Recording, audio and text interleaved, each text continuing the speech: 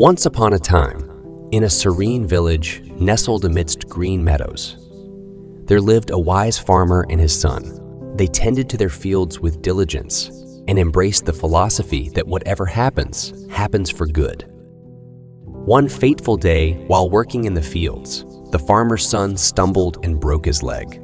The villagers rushed to offer sympathy, saying, What a terrible misfortune! Your son's injury will surely bring hardships upon you. The wise farmer, with unwavering faith in the natural order of life, smiled and replied, Whatever happens, happens for good. As weeks passed, the son's leg slowly healed, and with each passing day, he grew stronger.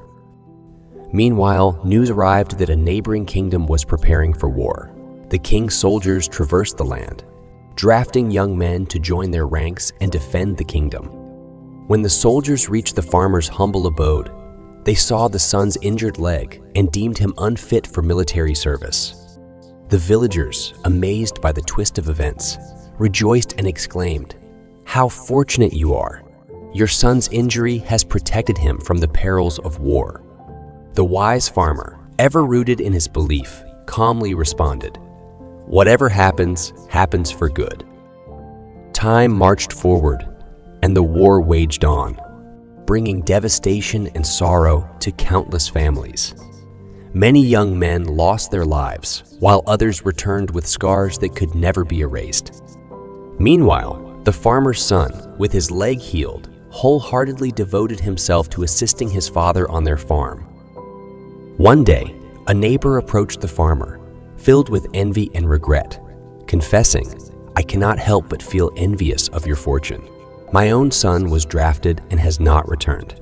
How I wish he were here with me.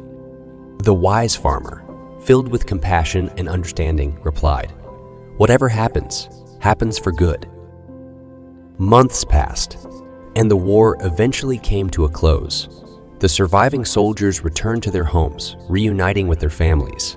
Among them was the neighbor's son, who miraculously survived the perils of the battlefield. Overwhelmed with joy and relief, the neighbor sought out the wise farmer and said, I am grateful beyond measure for the safe return of my son.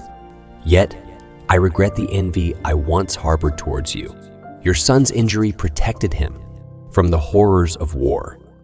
The wise farmer, with a serene smile, shared his wisdom once again. Life's tapestry weaves itself in mysterious ways. What may initially appear as misfortune can unfold into blessings beyond our comprehension.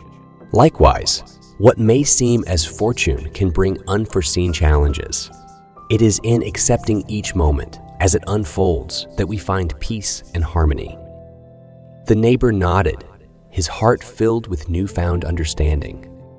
From that day forward, he too embraced the belief that whatever happens, happens for good, and his life became imbued with a deeper sense of acceptance and gratitude. And so the story of the wise farmer and his son spread throughout the village, serving as a gentle reminder that life's twists and turns are part of a greater design. By relinquishing judgments of good or bad and surrendering to the flow of life, one can find solace in the knowledge that whatever happens, happens for good.